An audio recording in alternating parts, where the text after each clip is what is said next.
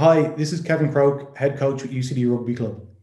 In this series of interviews, in conjunction with club sponsor Crowe, we talk to past and present players who share their memories of the club and how it has impacted their career both on and off the field. In this interview, we catch up with UCD, Leinster, and Ireland player Ross Byrne. Ross, you came into UCD having played uh, schools rugby in St Michael's. Um, you'd also played some rep rugby at that stage. What influenced your decision to join UCD? Uh, I suppose the big thing was was, was a good few of my friends. I suppose um, people like Ross Molony, Nick McCarthy, Josh Murphy were kind of all thinking of going to UCD as well. And we kind of always played the whole way up together. Um, and then even ahead of us, um, um, McMahon had been there for a few years. Um, people like Alex Kelly and then Rory O'Loughlin, Dan Leavy, Bobby Holland, kind of. So there was a lot of lads, I suppose, that had gone from Michaels into UCD.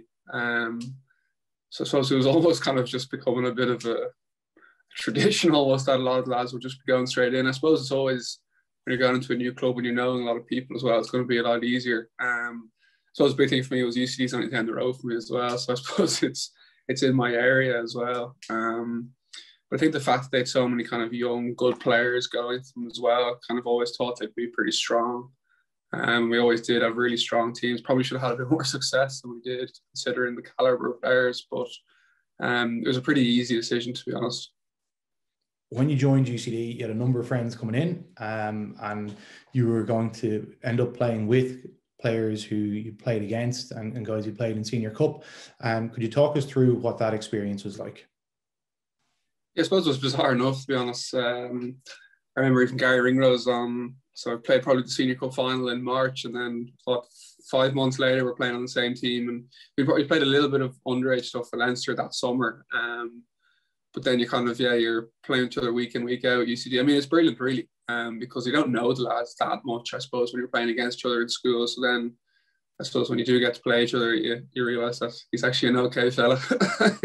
You're happy enough to call him a mate. Like, um, so it was brilliant, I suppose, to to play play with all the lads that you're playing against. And I think, to be honest, everyone's there really to have to win and have a bit of crack as well. Like, so I think um, the team gels together pretty quickly.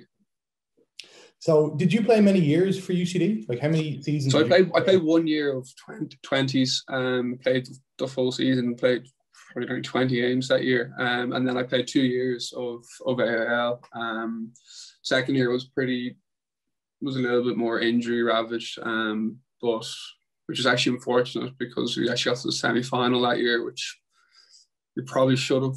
Uh, well, very good team at the time, but looking back, we had an incredible team on paper. I suppose that was kind of one thing that probably a little bit almost hindered us sometimes at UCD was with so many Leinster players that sometimes we didn't always I suppose we didn't get the same preparation as as as the other clubs because we wouldn't always supposed to get the same training time. Um, yeah. which probably not a great excuse to make considering you you might have the best players. But it was actually I was only looking at a program the other day when I was thinking it, was, it could have been my first AIL game actually. Um, against St Mary's, I think, and I was just looking at the, the team or the, the age of the profiles, and like at the time it was like Em McMahon, Tom Fletcher, these lads are like all the oldest in the team, but like at the time they're only like 23, 24.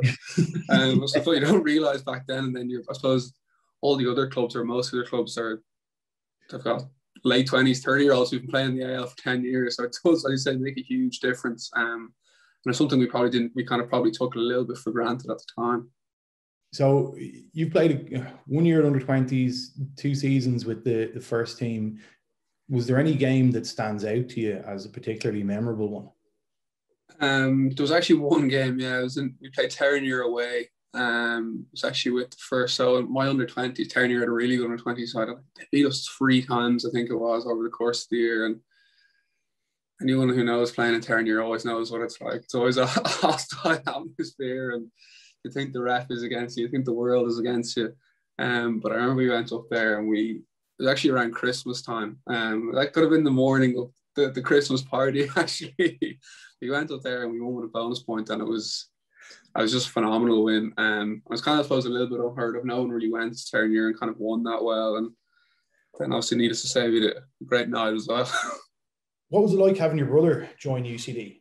um, we were chatting to the ringers and, and to the pennies, and they were kind of talking about their their brothers following them into the club, and and uh, I know Harry only came in I think for one year and then and then moved on. But what was it like having him follow you into the club?